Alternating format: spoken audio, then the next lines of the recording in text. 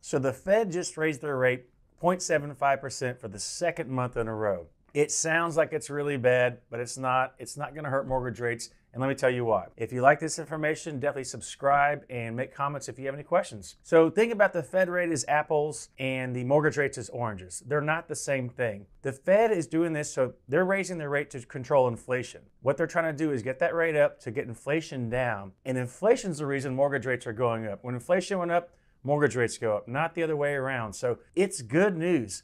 The market has reacted great again. I told you this last time when we talked about it.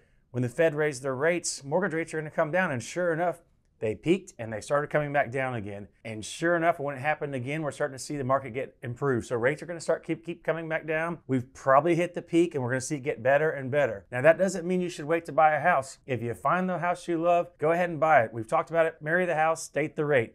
Buy the house now, you're to have a higher rate. You definitely have a good chance to refinance when it comes down in the future. So just keep that in mind. If you find the house you love, go ahead and buy it. The rates aren't to be this high. They're to start coming back down.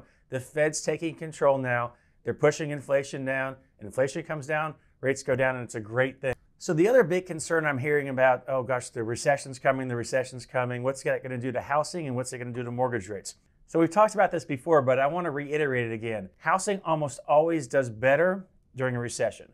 So keep that in mind. The only time that housing got worse was 2008. And also, in every recession we've had, rates go back down. And that's why we're talking about the refinance potential down the road. So we've got a lot of in- leading indicators saying, you know, the recession's coming, the Fed raising their rate, inflation coming down, mortgage rates coming down.